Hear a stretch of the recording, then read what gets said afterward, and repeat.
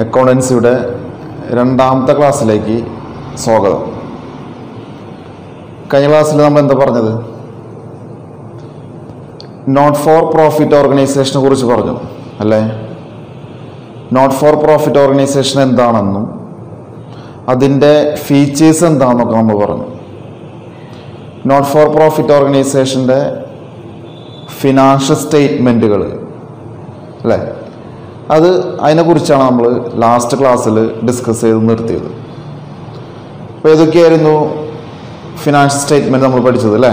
ഒന്ന് receipts and payment account രണ്ട് income and expenditure account മൂന്ന് ബാലൻസ് ഷീറ്റ് ഈ മൂന്ന് കാര്യങ്ങളാണ് നമ്മൾ കഴിഞ്ഞ ക്ലാസ്സിൽ പറഞ്ഞ് അവസാനിപ്പിച്ചത് അല്ലേ?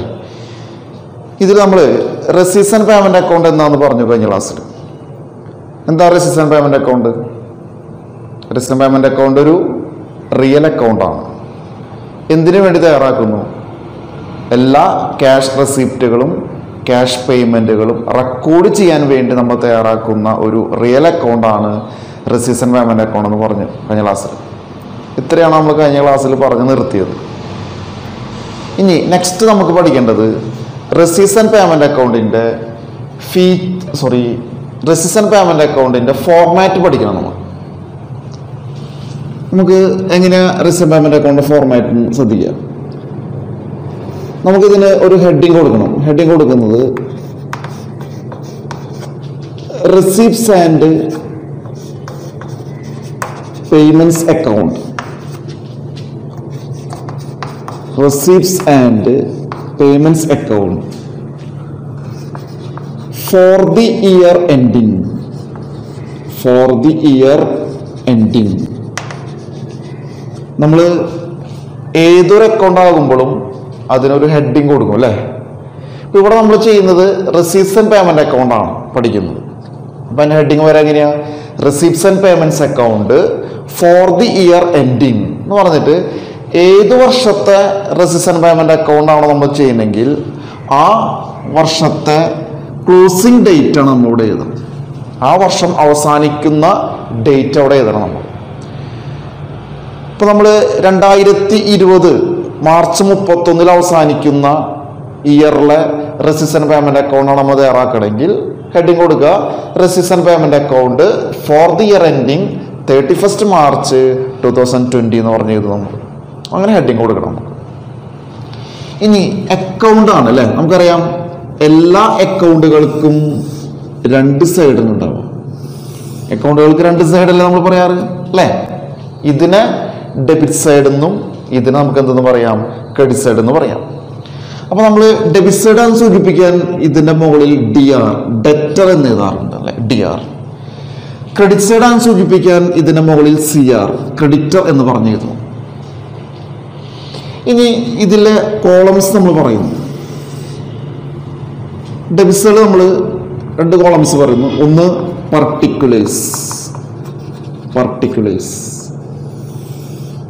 അടുത്തത് എമൗണ്ട് കോളം എമൗണ്ട് കോളം പർട്ടിക്കുലേഴ്സും എമൗണ്ട് കോളം ഇതന്നെ ക്രെഡിറ്റ്സുകളും ക്രെഡിറ്റ്സുകൾ പർട്ടിക്കുലേഴ്സ് അടുത്തത് എമൗണ്ട് കോളം അടുത്തത് എമൗണ്ട് കോളം അപ്പം ഇങ്ങനെയാണ് റെസിസ്റ്റൻ പേയ്മെന്റ് അക്കൗണ്ടിന്റെ ഫോർമാറ്റ് നമ്മൾ ചെയ്യുക. അപ്പോൾ രണ്ട് സൈഡ് നമ്മൾ പറയും ഡെബിറ്റ് സൈഡ് ക്രെഡിറ്റ് സൈഡ് നമ്മൾ ഡെബിറ്റ് സൈഡ് നമ്മൾ വിളിക്കുക. റെസിപ്റ്റ് സൈഡ് എന്നാണ് പറയുന്നത് ഡെബിറ്റ് സൈഡ് നമ്മൾ വിളിക്കുന്നത് റെസിപ്റ്റ് സൈഡ് ക്രെഡിറ്റ് സൈഡ് നമ്മൾ വിളിക്കുന്നത് പേയ്മെന്റ് സൈഡ് എന്നാണ് പറയുന്നത്. അപ്പോൾ നമ്മൾ കഴിഞ്ഞ വർഷം ക്യാഷ് ബുക്ക് പഠിച്ചിട്ടുണ്ടായിരുന്നു അല്ലേ? നിങ്ങൾക്ക് ഓർമ്മയുണ്ടാവും ക്യാഷ് ബുക്ക് അപ്പോൾ നമ്മൾ ക്യാഷ് ബുക്ക് പഠിച്ചപ്പോൾ ക്യാഷ് ബുക്കിന്റെ രണ്ട് സൈഡ് അല്ലേ? നമ്മൾ പഠിച്ചത് റിസീപ്റ്റ് സൈഡും പേയ്മെന്റ് സൈഡായിട്ട് നമ്മൾ പഠിച്ചിട്ടുണ്ടായിരുന്നു. അപ്പൊ ശരിക്കും പറഞ്ഞാൽ ആ ക്യാഷ് ബുക്കിന് ഈക്വലന്റ് ആണ് ഈ റെസിസ്റ്റൻ പേയ്മെന്റ് അക്കൗണ്ട് ക്യാഷ് ബുക്കിൽ നമ്മൾ ക്യാഷ് റെസിപ്റ്റുകളും ക്യാഷ് വന്നതും ക്യാഷ് പോയതുമാണ് നമ്മൾ റെക്കോർഡ് ചെയ്യുന്നത്. റെസിസ്റ്റൻ പേയ്മെന്റ് അക്കൗണ്ടിലും ഇത് തന്നെയാണ് നമ്മൾ റെക്കോർഡ് ചെയ്യുക. ക്യാഷ് റെസിപ്റ്റുകളും ക്യാഷ് പേയ്മെന്റുകളാണ് അതുകൊണ്ട് ഇത് ഏതിന് ഇക്വലന്റ് ആണ്? ക്യാഷ് ബുക്കിന് ഇക്വലന്റ് ആണ് നമുക്ക് പറയാം. നമ്മൾ സാധാരണ റെസിസ്റ്റൻ പേയ്മെന്റ് അക്കൗണ്ട് ആരംഭിക്കുന്നത്. എപ്പോഴും റെസിസ്റ്റൻ പേയ്മെന്റ് അക്കൗണ്ട് ആരംഭിക്കുന്നത് ക്യാഷിന്റെയും ബാങ്കിന്റെയും ഓപ്പണിംഗ് ബാലൻസ് വെച്ചുകൊണ്ടാണ്. നമ്മൾ ക്യാഷ് ബുക്ക് പഠിച്ചപ്പോൾ ക്യാഷ് ബുക്കിൽ നമ്മൾ ഡബിൾ കോളം ക്യാഷ് ബുക്ക് പഠിച്ചിട്ടുണ്ടായിരുന്നു. നമുക്കറിയാം ഡബിൾ കോളം ക്യാഷ് ബുക്ക് എന്ന് പറയുന്നത് രണ്ട് എമൗണ്ട് കോളംസ് ഉണ്ടാവും അല്ലേ? ഏതൊക്കെയാണ് നമ്മൾ പഠിച്ചത്? രണ്ട് എമൗണ്ട് കോളംസ് എമൗണ്ട് കോളംസ് പറയുമ്പോൾ രണ്ട് എമൗണ്ട് കോളംസ് എന്ന് പറയാറുണ്ട്.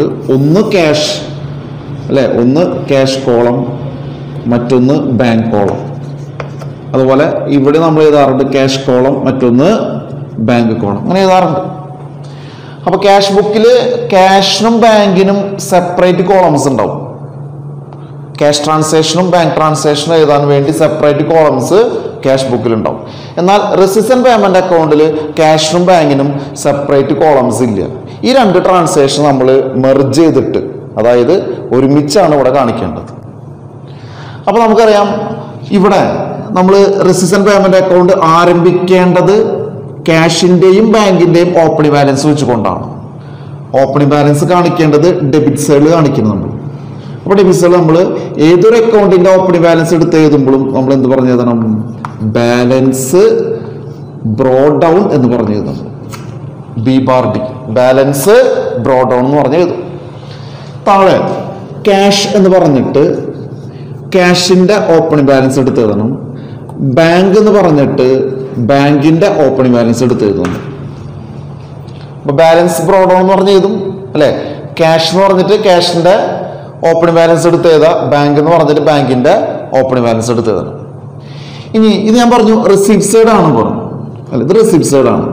അപ്പൊ ഇനി നമ്മൾ എഴുതുന്നത് റെസിപ്റ്റുകളാണ് നമ്മൾ എഴുതേണ്ടത്. എല്ലാ ക്യാഷ് റെസിപ്റ്റുകളും എടുത്ത് എഴുതണം നമ്മൾ അല്ലേ? അപ്പോൾ ഇവിടെ നമ്മൾ എഴുതേണ്ടത് ക്യാഷ് റെസിപ്റ്റ് ക്യാഷ് റെസിപ്റ്റുകൾ എല്ലാ ക്യാഷ് റെസിപ്റ്റുകളും നമ്മളിവിടെ എടുത്ത് എഴുതണം. എല്ലാ ക്യാഷ് റെസിപ്റ്റുകളും എടുത്ത് എഴുതണം. ഈ ക്യാഷ് റെസിപ്റ്റുകൾ രണ്ട് തരത്തിലുണ്ട്. രണ്ട് തരത്തിലുള്ള ക്യാഷ് റെസിപ്റ്റുകളുണ്ട് ഒന്ന് ക്യാപിറ്റൽ റെസിപ്റ്റ് മറ്റൊന്ന് റവന്യൂ റെസിപ്റ്റ് ക്യാപിറ്റൽ റെസിപ്റ്റ് മറ്റൊന്ന് റവന്യൂ റെസിപ്റ്റ് ഇതെന്താണ്? നെക്സ്റ്റ് നമുക്ക് ഡിസ്കസ് ചെയ്യാം. ക്യാപിറ്റൽ റെസിപ്റ്റ് എന്താണ്? റവന്യൂ റെസിപ്റ്റ് എന്താണെന്ന് ഞാൻ പറയാം. അപ്പോൾ എല്ലാ ക്യാഷ് റെസിപ്റ്റുകളും കൂടെ എഴുതും നമ്മൾ കേട്ടോ. റെസിപ്റ്റുകളെ രണ്ടായിട്ട് ഡിവൈഡ് ചെയ്തിട്ടുണ്ട്. ക്യാപിറ്റൽ റെസിപ്റ്റ് അതുപോലെ തന്നെ റവന്യൂ റെസിപ്റ്റ് എന്ന് പറഞ്ഞ് നമ്മൾ ഡിവൈഡ് ചെയ്തിട്ടുണ്ട്. ഇനി ഇത്രയാണ് ഡെബിറ്റ് സൈഡിൽ വരാം. ഇനി ക്രെഡിറ്റ് സൈഡിൽ ക്രെഡിറ്റ് സൈഡിൽ നമ്മൾ എഴുതുന്നത് പേയ്മെന്റ് സൈഡാണ് അല്ലേ? പേയ്മെന്റ് സൈഡാണ് ഇത്. അപ്പോൾ ഇവിടെ നമ്മൾ എഴുതേണ്ടത് എന്താ? എല്ലാ ക്യാഷ് പേയ്മെന്റുകളും എടുത്ത് എഴുതണം. കേട്ടോ എല്ലാ ക്യാഷ് പേയ്മെന്റ്സുകളും നമ്മൾ എവിടെ കാണിക്കുന്നു? ക്രെഡിറ്റ് സൈഡിൽ നമ്മൾ കാണിക്കണം. അപ്പോൾ പേയ്മെന്റ്സും രണ്ട് തരത്തിലുണ്ട്. നേരത്തെ പറഞ്ഞ പോലെ തന്നെ ക്യാപിറ്റൽ പേയ്മെന്റ് ഉണ്ട് അതുപോലെ തന്നെ റവന്യൂ പേയ്മെന്റ് ഉണ്ട്. ക്യാപിറ്റൽ പേയ്മെന്റും അതുപോലെ തന്നെ റവന്യൂ പേയ്മെന്റും ഉണ്ട്. ഇനി ഇത് അവസാനിക്കുന്നത് റെസിസ്റ്റൻ പേയ്മെന്റ് അക്കൗണ്ടിൽ അവസാനിക്കുന്നത് closing balance of cash and bank ക്യാഷിന്റെയും ബാങ്കിന്റെയും ക്ലോസിംഗ് ബാലൻസ് വെച്ചുകൊണ്ടാണ്. നമ്മൾ ക്ലോസിംഗ് ബാലൻസ് കാണിക്കേണ്ടത് പേയ്മെന്റ് സൈഡിൽ അതായത് ക്രെഡിറ്റ് സൈഡിൽ കാണിക്കണം. ക്രെഡിറ്റ് സൈഡിൽ അവസാനം നമ്മൾ എഴുതും. ക്ലോസിംഗ് ബാലൻസ് എഴുതുമ്പോൾ balance carry down balance carry down എന്ന് പറഞ്ഞിട്ട് നമ്മളിവിടെ ക്ലോസിംഗ് ബാലൻസ് എടുത്ത് എഴുതും. ക്ലോസിംഗ് ബാലൻസ് നമുക്കറിയാം. ഓപ്പണിംഗ് ബാലൻസ് ക്യാഷ് ഉണ്ടായിരുന്നു ബാങ്ക് ഉണ്ടായിരുന്നു. അപ്പോൾ ക്ലോസിംഗ് ബാലൻസ് ക്യാഷിന്റെ ക്ലോസിംഗ് ബാലൻസ് ക്യാഷ് എന്ന് പറഞ്ഞ് എഴുതണം. ബാങ്കിന്റെ ക്ലോസിംഗ് ബാലൻസ് എന്തെന്ന് പറഞ്ഞു എഴുതും നമ്മൾ ബാങ്ക് എന്ന് പറഞ്ഞു എഴുതണം. മനസ്സിലാവുണ്ടോ പറയുന്നത്? അല്ലേ? അപ്പോൾ പേയ്മെന്റ് സൈഡിൽ അതായത് ക്രെഡിറ്റ് സൈഡിൽ നമ്മൾ എഴുതേണ്ടത് എല്ലാ പേയ്മെന്റുകളും അല്ലെ? ക്യാഷ് പേയ്മെന്റുകളാണ് പേയ്മെന്റിനെ രണ്ടായിട്ട് തരംതിരിച്ചിട്ടുണ്ട്. ക്യാപിറ്റൽ പേയ്മെന്റ് അതുപോലെ തന്നെ റവന്യൂ പേയ്മെന്റ് ഉണ്ട്. മനസ്സിലായി. പിന്നെ അവസാനം വരുന്നത് ക്ലോസിംഗ് ബാലൻസ് ആണ്. ക്ലോസിംഗ് ബാലൻസ് എന്ത് പറഞ്ഞു നമ്മൾ balance carry down C bar D എന്ന് പറഞ്ഞിട്ട്. ക്യാഷിന്റെ ക്ലോസിംഗ് ബാലൻസ് എടുത്ത് ചെയ്താൽ ബാങ്കിന്റെ ക്ലോസിംഗ് ബാലൻസ് ചെയ്തു അല്ലേ? രണ്ട് സൈഡ് നമ്മൾ ടോട്ടൽ രണ്ട് സൈഡ് നമ്മൾ ടോട്ടൽ ഇതിൽ എക്സാമിനേഷൻ പ്രോബ്ലത്തിൽ ഈ ക്ലോസിംഗ് ബാലൻസ് തന്നിട്ടുണ്ടാവില്ല. ഈ ക്ലോസിംഗ് ബാലൻസ് ആണ് നമ്മൾ കണ്ടെത്തേണ്ടത്. അല്ലേ? അപ്പൊ നമ്മൾ ബാലൻസ് ഫിഗർ ആയിട്ടാണ് ഈ ക്ലോസിംഗ് ബാലൻസ് വരുന്നത്. മനസ്സിലായി പറയുന്നത്? കേട്ടില്ലേ? അപ്പോൾ ഇതിൽ നമ്മൾ പഠിച്ച ഫോർമാറ്റ് ഏതിന്റെയാ റിസീപ്റ്റ്സ് ആൻഡ് പേയ്മെന്റ്സ് അക്കൗണ്ട് ആണ്. അല്ലേ? റിസീപ്റ്റ് ആൻഡ് പേയ്മെന്റ് അക്കൗണ്ടിന് രണ്ട് സൈഡാണ് പറയുന്നത് കേട്ടോ. ഇത് ഡെബിറ്റ് സൈഡ് ഇത് ക്രെഡിറ്റ് സൈഡ് ഡെബിറ്റ് സൈഡ് നമുക്ക് എന്തെന്ന് വിളിക്കാം? റിസിപ്റ്റ് സൈഡ് എന്ന് പറയുന്നു. ക്രെഡിറ്റ് സൈഡ് നമുക്ക് എന്ത് വിളിക്കാം? പേയ്മെന്റ് സൈഡ് എന്ന് പറയുന്നു. അല്ലേ? ഈ റെസിപ്റ്റ്സിലെ ഫസ്റ്റ് ഐറ്റം എന്ന് പറയുന്നത് opening balance of cash and bank ക്യാഷിന്റെയും ബാങ്കിന്റെയും ഓപ്പണിംഗ് ബാലൻസ് കാണിക്കണം അല്ലേ? അപ്പോൾ ഓപ്പണിംഗ് ബാലൻസ് എടുത്ത് എഴുതുന്നത് എങ്ങനെയാണ് ബാലൻസ് ബ്രോഡ് ഡൗൺ എന്ന് പറഞ്ഞിട്ട് ക്യാഷ് എന്ന് പറഞ്ഞിട്ട് ക്യാഷിന് ഓപ്പണിംഗ് ബാലൻസ് എടുത്ത് എഴുതാം ബാങ്ക് എന്ന് പറഞ്ഞിട്ട് ബാങ്കിന്റെ ഓപ്പണിംഗ് ബാലൻസ് എടുത്തത്. ഇനി ഡെബിറ്റ് സെൽ എഴുതുന്നത് ഏതാ? ക്യാഷ് റെസിപ്റ്റുകളാണ് അല്ലേ? ക്യാഷ് കിട്ടുന്നതിനാണ് നമ്മൾ ക്യാഷ് റെസിപ്റ്റ് എന്ന് പറയുന്നത് അല്ലേ? അപ്പോൾ ക്യാഷ് റെസിപ്റ്റുകളാണ് എഴുതേണ്ടത് റെസിപ്റ്റ് രണ്ട് തരത്തിലുണ്ട്. ക്യാപിറ്റൽ റെസിപ്റ്റും അതുപോലെ തന്നെ റവന്യൂ റെസിപ്റ്റുകളുണ്ട്. മനസ്സിലാവണം പറയുന്നത്? ഇനി പേയ്മെന്റ് സൈഡ് അതായത് ക്രെഡിറ്റ് സൈഡിൽ നമ്മൾ എഴുതേണ്ടത് ക്യാഷ് പേയ്മെന്റുകളാണ് എല്ലാ ക്യാഷ് പേയ്മെന്റുകളും നമ്മുടെ ഇത് ക്യാഷ് പോണതും ഇവിടെ നമ്മൾ കാണിക്കണം. അല്ലേ? പേയ്മെന്റ് രണ്ട് തരത്തിലുണ്ട്. ക്യാപിറ്റൽ പേയ്മെന്റ് ഉണ്ട് അതുപോലെ തന്നെ റവന്യൂ പേയ്മെന്റ് ഉണ്ട്. മനസ്സിലായോ? ഇനി അടുത്തത് അതിന്റെ കോസിംഗ് ബാലൻസ് ആണ്. കോസിംഗ് ബാലൻസ് നമ്മൾ കാണിക്കുക. Balance carry down C bar D അതായത് ക്യാഷിന്റെ കോസിംഗ് ബാലൻസ് ബാങ്കിന്റെ കോസിംഗ് ബാലൻസ് ഇതാണ് നമ്മൾ സിമ്പിളായിട്ട് നമ്മൾ റെസിസ്റ്റൻ പേയ്മെന്റ് അക്കൗണ്ടിന്റെ ഫോർമാറ്റ് നമ്മൾ പറയുന്നത്. ഇതിന്റെ ഫോർമാറ്റ് ക്ലിയർ ക്ലിയർ ആയി കാണുന്നു വിചാരിക്കുന്നു. ഓക്കെ അല്ലേ?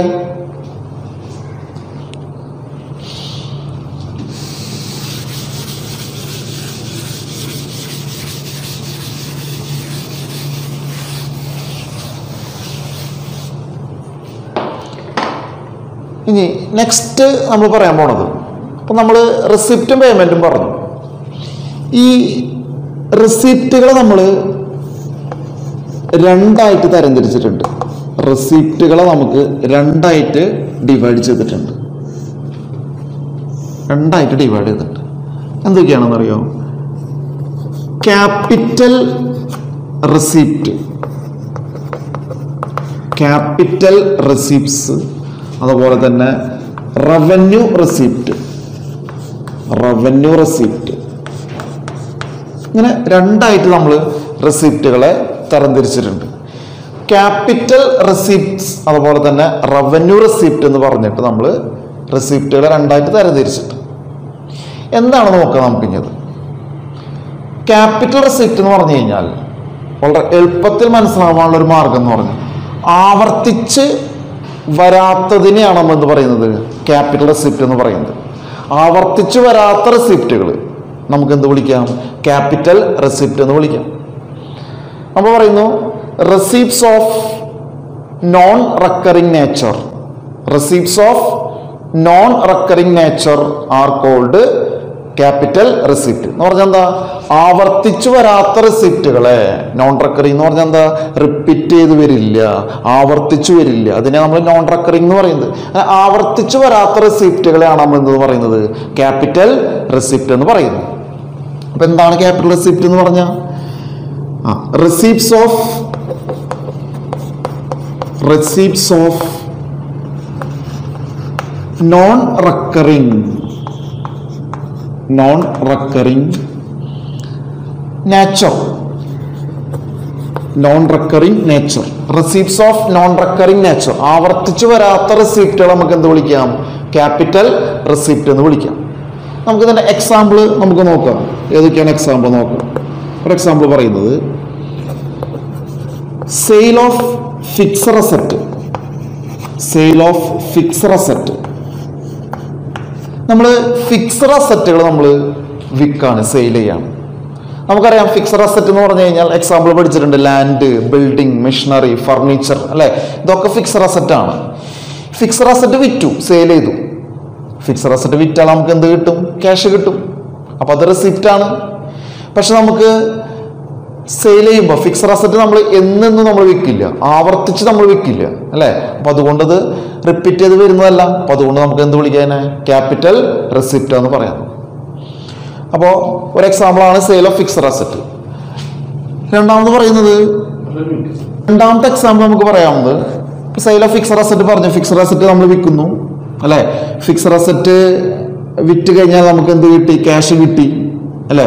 ഇത് നമ്മൾ ആവർത്തിച്ച് കിട്ടുന്ന ഐറ്റം അല്ല അല്ലെ? നമ്മൾ അസറ്റുകൾ എന്നും വിൽക്കില്ല സ്ഥിരമായിട്ട് വിൽക്കില്ല അല്ലേ? അതുകൊണ്ട് അത് റിപ്പീറ്റ് ചെയ്ത് വരില്ല. നോൺ റെക്കറിങ് ആണ്. അപ്പോൾ അത് ക്യാപിറ്റൽ റിസിപ്റ്റ് എന്ന് പറയും. മനസ്സിലാണോ പറയുന്നത്? പിന്നെ മറ്റൊരു എക്സാമ്പിൾ നമുക്ക് നോൺ ഫോർ പ്രോഫിറ്റ് ഓർഗനൈസേഷനെ സംബന്ധിച്ച് നമുക്ക് പറയാനുള്ളത് അല്ലേ? ഡൊണേഷൻ പറയാറുണ്ട് നമ്മൾ സ്പെസിഫിക് ഡൊണേഷൻ പറയും. Specific donation specific donation donation എന്ന് പറഞ്ഞു കഴിഞ്ഞാൽ ഒരു പ്രത്യേക ആവശ്യത്തിന് വേണ്ടി നമുക്ക് കിട്ടുന്ന ഡൊണേഷൻ എന്ന് പറയുന്നത്. സ്പെസിഫിക് ഡൊണേഷൻ എന്ന് പറയുന്നത്. For example donation for building building പണിയാൻ വേണ്ടി നമുക്ക് ഡൊണേഷൻ കിട്ടാം.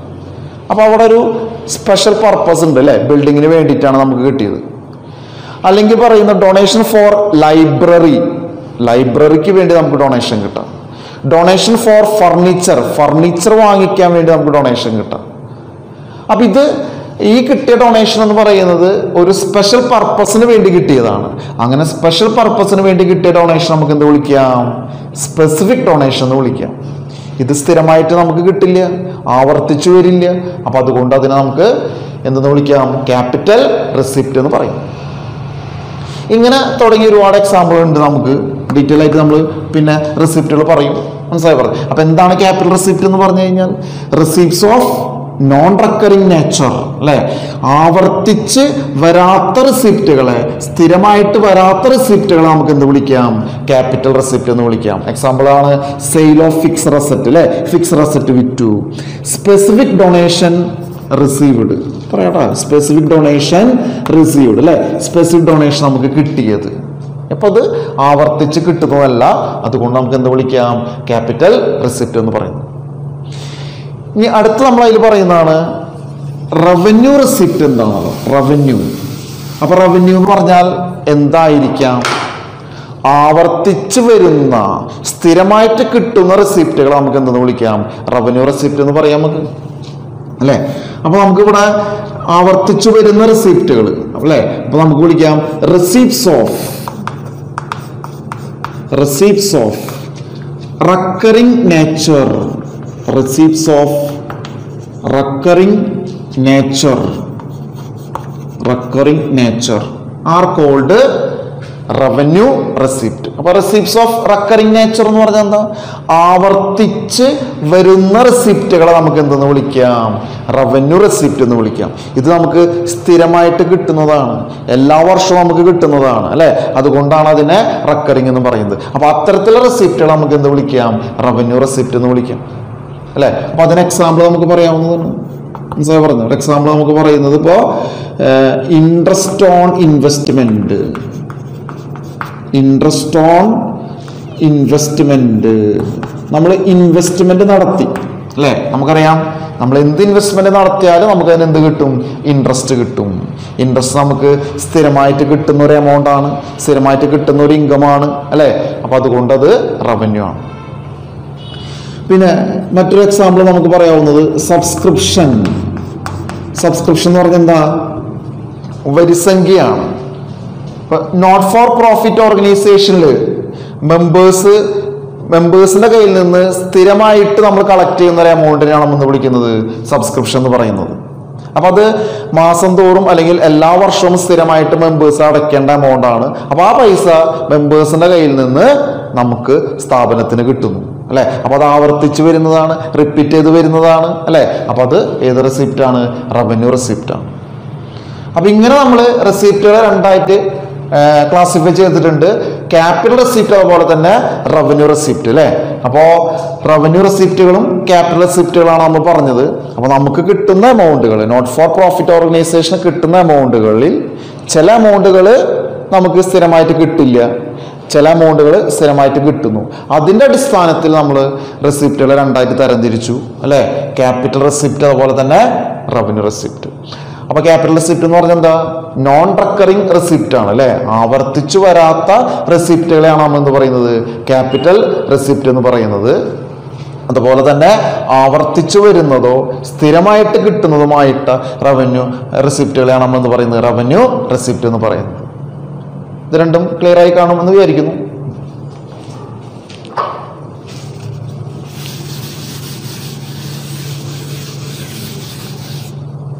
ഇനി നെക്സ്റ്റ് നമ്മൾ റെസിപ്റ്റ്സ് പറഞ്ഞ ബോക്സ് ആണ് പറയുന്നത്. നമ്മൾ പേയ്മെൻസിനെ പേയ്മെൻസിന് രണ്ടായിട്ട് തരം തിരിച്ചിട്ടുണ്ട് രണ്ടായിട്ട് തരം തിരിച്ചിട്ടുണ്ട് നേരത്തെ റെസിപ്റ്റ് പറഞ്ഞ പോലെ തന്നെ capital payments and revenue payments capital payments and revenue payments രണ്ടായി ക്ലാസിഫൈ ചെയ്തിട്ടുണ്ട്. എന്താണ് ക്യാപിറ്റൽ പേയ്മെന്റ്സ് എന്ന് പറഞ്ഞത് നേരത്തെ റെസിപ്റ്റ് പറഞ്ഞ പോലെ തന്നെ അല്ലെ? ആവർത്തിച്ചു വരാത്ത പേയ്മെന്റ്സിനെ നമുക്ക് എന്തെന്ന് വിളിക്കാം? ക്യാപിറ്റൽ പേയ്മെന്റ്സ് എന്ന് പറയും അപ്പൊ ആവർത്തിച്ചു വരാത്ത എന്ത് വിളിക്കും നമ്മൾ നോൺ റെക്കറിങ് ആണ് അല്ലേ? ആവർത്തിച്ചു വരാത്തത്. അപ്പൊ ആവർത്തിച്ചു വരാത്ത പേയ്മെന്റ്സിന് നമുക്ക് ക്യാപിറ്റൽ പേയ്മെന്റ്സ് എന്ന് പറയുന്നു. അല്ലേ?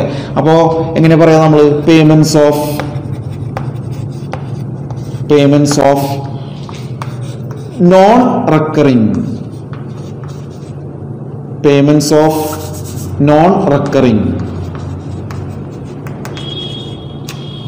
nature are called non recurring nature are called capital payments എന്ന് പറയുന്നു അപ്പോൾ നമുക്ക് സ്ഥിരമായിട്ട് വരുന്ന പേയ്മെന്റുകളല്ല അല്ലെങ്കിൽ എക്സ്പെൻസുകളല്ല അപ്പോൾ അത്തരത്തിലുള്ള എക്സ്പെൻസിനെയോ അല്ലെങ്കിൽ പേയ്മെന്റ്സിനോ നമുക്ക് എന്ത് വിളിക്കാം? ക്യാപിറ്റൽ പേയ്മെന്റ്സ് എന്ന് പറയുന്നു. എക്സാമ്പിൾ നമുക്ക് നോക്കാം. Purchase of fixed asset purchase of fixed asset purchase of fixed asset നമ്മൾ ഫിക്സഡ് അസറ്റ് വാങ്ങിക്കുകയാണ് ഫിക്സഡ് അസറ്റ് വാങ്ങിക്കുമ്പോൾ നോക്കിയേ അസറ്റ് വാങ്ങിക്കുമ്പോൾ നമുക്കറിയാം ക്യാഷ് പോവും നമ്മുടെ കയ്യിൽ നിന്ന് അല്ലേ? അസറ്റ് വാങ്ങിക്കുമ്പോൾ നമ്മുടെ നിന്ന് ക്യാഷ് പോവും അപ്പോൾ അത് പേയ്മെന്റ് അല്ലേ? അതെ. പക്ഷെ നമ്മൾ എന്നെന്നും അസറ്റ് വാങ്ങിക്കില്ലല്ലോ അല്ലേ? അപ്പം അതുകൊണ്ട് എന്തായില്ല അത് ആവർത്തിച്ചു വരുന്നതല്ല സ്ഥിരമായിട്ട് വരുന്നതല്ല. അപ്പോൾ അതുകൊണ്ട് അത് ക്യാപിറ്റൽ പേയ്മെന്റ്സ് എന്ന് പറയാം. കേട്ടാ പർച്ചേസ് ഓഫ് ഫിക്സഡ് അസറ്റ് അതുപോലെ തന്നെ ഇൻവെസ്റ്റ്മെന്റ് ഇൻവെസ്റ്റ്മെന്റ് ഇൻവെസ്റ്റ്മെന്റ് ഇൻവെസ്റ്റ്മെന്റ് എന്ന് പറഞ്ഞു കഴിഞ്ഞാൽ നമ്മൾ ഇൻവെസ്റ്റ്മെന്റ് നടത്തുന്നതാണ്. അല്ലെ? ഇപ്പൊ നമുക്കറിയാം ഇപ്പൊ നമ്മുടെ കയ്യിൽ ഇപ്പോ ഒരു ലക്ഷം രൂപ ഉണ്ടെങ്കിൽ ഈ ഒരു ലക്ഷം രൂപ നമ്മൾ ഇൻവെസ്റ്റ് ചെയ്തു. ഒരു ലക്ഷം രൂപ ഇൻവെസ്റ്റ് ചെയ്യുമ്പോൾ നമ്മുടെ കയ്യിൽ നിന്ന് എന്ത് പോകുന്നുണ്ട്? ക്യാഷ് പോകുന്നുണ്ട്. അപ്പൊ അത് പേയ്മെന്റ് ആണ്. അല്ലേ? നമ്മൾ എവിടെയൊക്കെ ഇൻവെസ്റ്റ് ചെയ്യാം? ചിലപ്പോൾ അത് ബാങ്കിൽ ഇൻവെസ്റ്റ് ചെയ്യാം. ഫിക്സഡ് ഡെപ്പോസിറ്റ് ആയിട്ട് അഞ്ച് കൊല്ലത്തേക്കോ പത്ത് കൊല്ലത്തേക്കോ ഇടും. അല്ലെങ്കിൽ ഷെയറുകളിൽ ഇൻവെസ്റ്റ് ചെയ്യാറുണ്ട് അല്ലേ? അല്ലെങ്കിൽ ഡിബഞ്ചറുകളിൽ ഇൻവെസ്റ്റ് ചെയ്യാം അല്ലേ? അപ്പൊ അങ്ങനെ ഇൻവെസ്റ്റ്മെന്റ് പല രീതിയിൽ നമുക്ക് ഇൻവെസ്റ്റ്മെന്റ് നടത്താം. അപ്പൊ അങ്ങനെ ഇൻവെസ്റ്റ്മെന്റ് നടത്തുമ്പോൾ അല്ലേ? നമ്മുടെ കയ്യിൽ നിന്ന് ക്യാഷ് പോണ് അല്ലേ? സ്ഥാപനത്തിൽ നിന്ന് ക്യാഷ് പോണ്. അപ്പൊ അതുകൊണ്ട് അതെന്താണ്? പേയ്മെന്റ് ആണ് അല്ലേ? അപ്പൊ അത് ക്യാപിറ്റൽ പേയ്മെന്റ് ആയിട്ട് നമുക്ക് കണക്കാക്കണം കേട്ടോ ഇൻവെസ്റ്റ്മെന്റ് ക്യാപിറ്റൽ പേയ്മെന്റ് ആയിട്ട് കണക്കാക്കുന്നു. ഇങ്ങനെ എക്സാമ്പിൾ നമുക്ക് പറയാം. അപ്പൊ എന്താണ് ക്യാപിറ്റൽ പേയ്മെന്റ് എന്ന് പറഞ്ഞാൽ? Payments of non recurring nature അല്ലെ ആവർത്തിച്ചു വരാത്ത പേയ്മെന്റുകൾ നമുക്ക് എന്തെന്ന് വിളിക്കാം? ക്യാപിറ്റൽ പേയ്മെന്റ് എന്ന് വിളിക്കാം. എക്സാമ്പിൾ ഏതൊക്കെയാ? Purchase of fixed asset fixed asset വാങ്ങിച്ചു. ഫിക്സഡ് അസറ്റ് വാങ്ങിക്കുമ്പോൾ നമ്മൾ എന്ത് പോവും? ക്യാഷ് പോവും. അല്ലേ ക്യാഷ് പോകുമ്പോൾ അത് പേയ്മെന്റ് ആണ്. എന്നാൽ എന്നും നമ്മൾ അസറ്റ് വാങ്ങിക്കില്ല. സ്ഥിരമായിട്ട് നമ്മൾ അസറ്റ് വാങ്ങിക്കില്ല. അപ്പം അത് നോൺ റെക്കറിംഗ് ആണ്. ആവർത്തിച്ചു വരാത്തതാണ്. ഇൻവെസ്റ്റ്മെന്റ് ഇൻവെസ്റ്റ്മെന്റ് എന്ന് പറഞ്ഞാൽ നമ്മൾ ഇൻവെസ്റ്റ്മെന്റ് നടത്തുന്നതാണ് അല്ലെ? ഇപ്പൊ എന്റെ കയ്യിൽ നേരത്തെ പറഞ്ഞ പോലെ ഒരു ലക്ഷം രൂപ ഉണ്ട് ആ ഒരു ലക്ഷം രൂപ ചിലപ്പോൾ ബാങ്കിൽ ഇൻവെസ്റ്റ്മെന്റ് നടത്തിയിട്ടുണ്ടാവും. അല്ലെങ്കിൽ ആ ഒരു ലക്ഷം രൂപ ഷെയറിൽ ഇൻവെസ്റ്റ് ചെയ്തിട്ടുണ്ടാവാം. അല്ലെങ്കിൽ ആ ഒരു ലക്ഷം രൂപ ഡിബഞ്ചറിൽ ഇൻവെസ്റ്റ് ചെയ്തിട്ടുണ്ടാവാം അല്ലെ? അപ്പൊ അങ്ങനെ ഇൻവെസ്റ്റ് ചെയ്യുമ്പോൾ എന്റെ കയ്യിൽ നിന്ന് എന്ത് പോണ്? ക്യാഷ് പോണ് അല്ലേ? അപ്പൊ അത് പേയ്മെന്റ് ആയിട്ട് നമ്മൾ എഴുതുന്നു. ക്യാഷ് പോണതൊക്കെ പേയ്മെന്റ് ആണ്. അല്ലെ? പക്ഷെ അത് നമ്മൾ ആവർത്തിച്ചു വരുന്നതല്ല. അപ്പോൾ അതുകൊണ്ട് അത് നമ്മൾ എന്തായിട്ട് കണക്കാക്കുന്നു? ക്യാപിറ്റൽ പേയ്മെന്റ് ആയിട്ട് കണക്കാക്കുന്നു. അപ്പോൾ ക്യാപിറ്റൽ പേയ്മെന്റ് മനസ്സിലായില്ലേ? ഇനി അടുത്തതാണ് റവന്യൂ പേയ്മെന്റ് റവന്യൂ പേയ്മെന്റ് അപ്പോൾ റവന്യൂ പേയ്മെന്റ് എന്ന് പറഞ്ഞാൽ എന്താണ്? നമുക്ക് പറയാം. ആവർത്തിച്ച് വരുന്ന പേയ്മെന്റുകളെ അല്ലെങ്കിൽ സ്ഥിരമായിട്ട് വരുന്ന പേയ്മെന്റുകളെ നമുക്ക് എന്തെന്ന് വിളിക്കാം? റവന്യൂ പേയ്മെന്റ്സ് എന്ന് വിളിക്കാം. നമുക്ക് സ്ഥിരമായിട്ട് വരുന്ന പേയ്മെന്റുകൾ അല്ലേ? അപ്പൊ നമുക്ക് എങ്ങനെ പറയാം? പേയ്മെന്റ്സ് ഓഫ് അല്ലേ? Payments of recurring nature payments of recurring nature recurring nature are called payments of recurring nature are called revenue payments എന്ന് പറയുന്നു. അല്ലെ? എന്ന് പറഞ്ഞാൽ എന്താ? നേച്ചറാണ് ആവർത്തന സ്വഭാവമുള്ള പേയ്മെന്റുകളാണ് ആവർത്തിച്ചു വരുന്ന പേയ്മെന്റുകളാണ് അത്തരം പേയ്മെന്റുകളെയാണ് നമ്മൾ എന്ത് വിളിക്കുന്നത്? അല്ലെ? റവന്യൂ പേയ്മെന്റ്സ് എന്ന് വിളിക്കുന്നത്. എക്സാമ്പിളും ശ്രദ്ധിക്കാൻ നമുക്ക്. എന്താ എക്സാമ്പിൾ പറയാമോ നമുക്ക്? ഇപ്പൊ നമ്മൾ പറയുന്നത് അല്ലെ? Payment of payment of salary salary അതുപോലെ തന്നെ വേജസ് എക്സെട്ര അല്ലേ? Wages etcetera payment of salary wages etcetera നമ്മൾ സ്ഥാപനത്തിലെ ജോലിക്കാർക്ക് സാലറി കൊടുക്കണം വേജസ് കൊടുക്കണം അല്ലേ? ഇത് രണ്ടും സ്ഥിരമായിട്ട് കൊടുക്കേണ്ടതാണ്. സ്ഥിരമായിട്ട് ശമ്പളം കൊടുക്കണം അല്ലേ? അപ്പോൾ അത് ആവർത്തിച്ച് വരുന്നതാണ്. എല്ലാ മാസവും നമ്മൾ സാലറി കൊടുക്കുന്നു. വേണ്ടേ അപ്പോൾ അത് റിപ്പീറ്റ് ചെയ്ത് വരും. ആവർത്തിച്ചു വരുന്നതാണ്. ആ ആവർത്തിച്ചു വരുന്നതിന് നമുക്ക് എന്താ വിളിക്കാം? റവന്യൂ പേയ്മെന്റ് എന്ന് വിളിക്കും. അല്ലേ? അതുപോലെ തന്നെ അല്ലേ? Interest paid interest paid interest നമ്മൾ കൊടുക്കുന്നുണ്ട് അല്ലേ? ഇപ്പൊ സാധാരണ കേസിൽ നമ്മൾ ലോൺ എടുത്തിട്ടുണ്ടെങ്കിൽ ആ ലോണിന് നമ്മൾ എന്ത് കൊടുക്കണം? ഇൻട്രസ്റ്റ് കൊടുക്കണം അല്ലേ?